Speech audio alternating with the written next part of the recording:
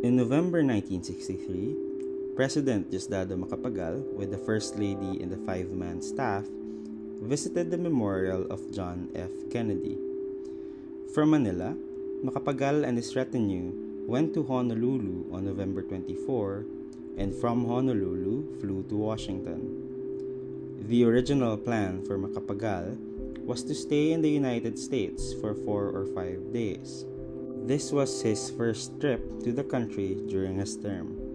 He canceled an earlier visit planned in June 1962 because of the disapproval by the American Congress of a bill filed in May 1962 appropriating $73 million for war damages in the Philippines. While this US trip did not push through, Macapagal's trips to Spain, Italy, and Pakistan from June to July, which were planned in relation to it and which were planned in relation to US interests in these countries, did. In August 1962, the same bill was reconsidered and signed into law by Kennedy. During his time in the United States, there were rumors that Macapagal would do a side trip to visit African countries. On December 1, these reports were confirmed. The trip was the first time any Philippine head of state visited the African continent. All the preparations were done within the time of Macapagal's visit to the US. As one account elaborates, and I quote, Washington officials encouraged the trip, probably because America is proud that the Philippines has something to show for its 17 years of independence. End of quote. This map reconstitutes the itinerary of Macapagal's trip to the Kennedy Memorial, then to Africa, and back to Manila. The trip was planned to travel from west to east, from Liberia to Nigeria to the Republic of Congo to Tanganyika to Malagasy to Zanzibar all of which had recently declared independence. Boarding a Pan American Airways jetliner, which has been christened Clipper Sampaguita to give it the native touch, and that was also assigned a Filipino flight attendant named Shirley Hart, Macapagal set off to Liberia on December 5th and arrived on the 7th.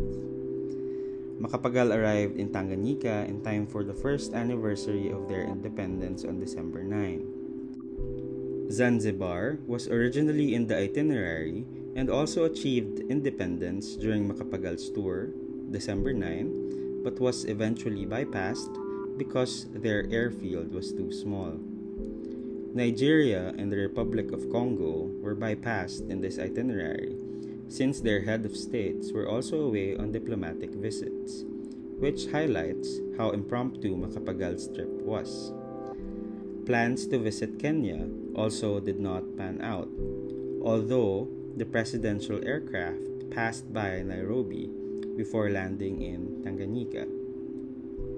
Although it would have been an apt gesture to visit Kenya on its eve of independence on December 12, 1963, Macapagal's group decided against it.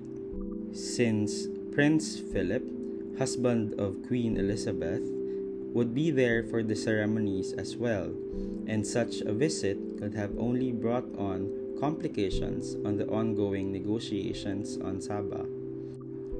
The last destination of the trip was Malagasy, present day Madagascar, which in Wenceslao Vinzon's account of a Pan-Malayan ethnos that informed the formation of Maphilindo, forms part of, and I quote, a unified Malaysia extending from the northern extremity of the Malay Peninsula the shores of New Guinea, from Madagascar to the Philippines and to the remotest islands of Polynesia, will be a powerful factor in the oceanic world. End of quote.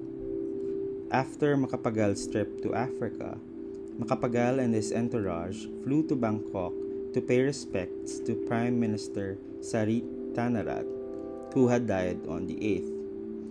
On December 16th, Macapagal reached Manila.